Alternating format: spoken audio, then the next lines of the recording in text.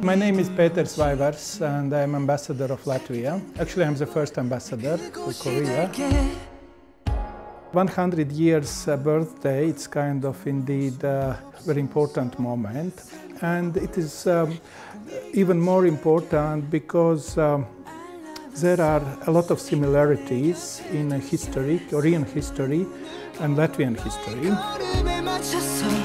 I like Seoul indeed very much and uh, it's easy even without knowing uh, Korean language and my Korean is very limited. I just know a few words like Kamsamnida and Pali Pali uh, but, uh, uh, and few more. But um, I like I like to live in, in, in Korea. I love to, to live in Seoul, and it's very easy also for, for working because people are very open. People are very proactive. because They really want to engage.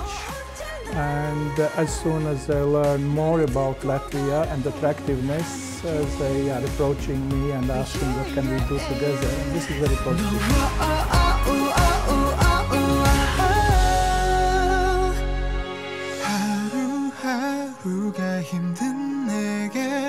Seoul, it's walking distance from, as I said, I am living near Seoul station.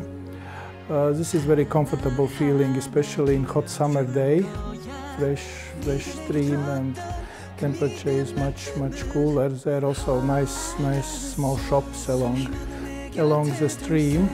Uh, one of my hobbies is photographing, so for, for this reason I love to, to go to palaces or, or, temples around to make some photos.